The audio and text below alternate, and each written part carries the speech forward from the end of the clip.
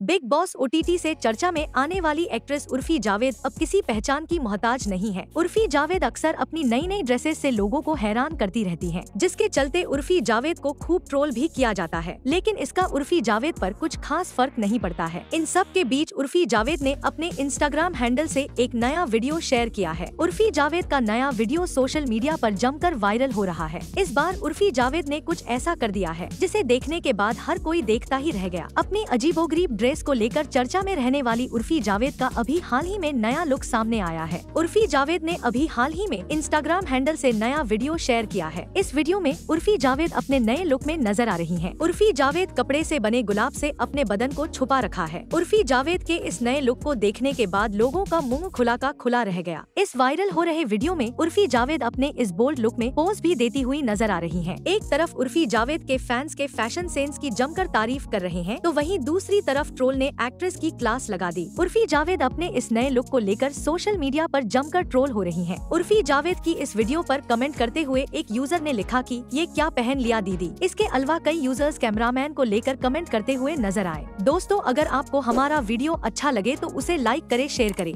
और ऐसी ही दिलचस्प जानकारी पाने के लिए हमारा चैनल फॉलो करें।